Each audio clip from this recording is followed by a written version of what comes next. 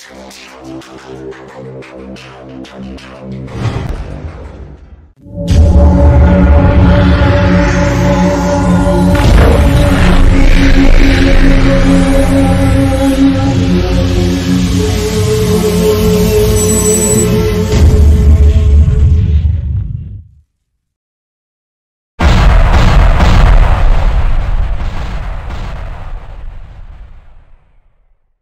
Bless up, my beautiful people. Welcome back to JNN Newsroom. Yeah, man. Continue to like, share, comment, and subscribe.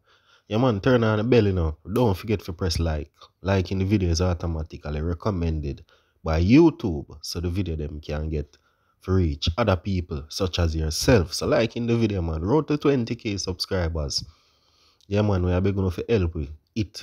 The 16 case subbing idea yeah, quick and fast. But regardless of that, we not too talk too long pan. That way I give you some information and then we come back and well reason.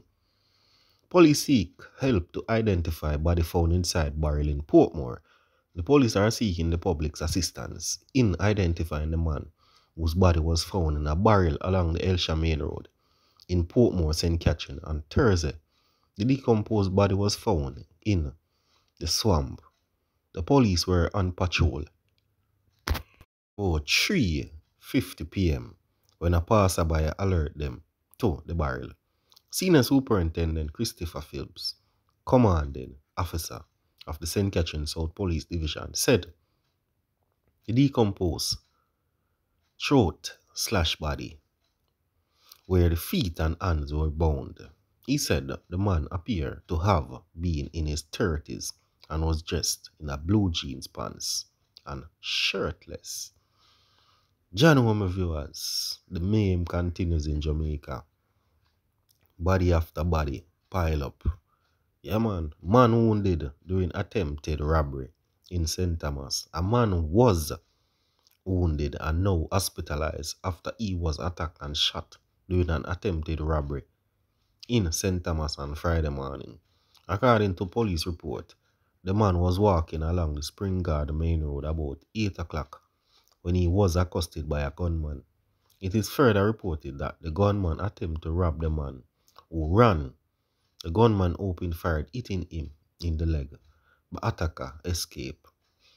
Well, we have to say, thank God, say, the brother not drop out because, you know, a people are dead left, right, and center these days.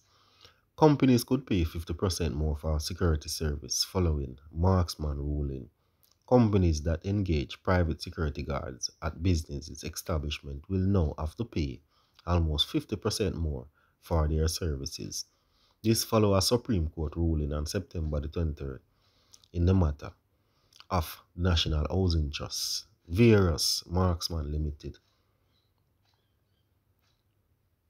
The court ruled that guards engaged by security companies to provide third-party service are employees and not independent contractors.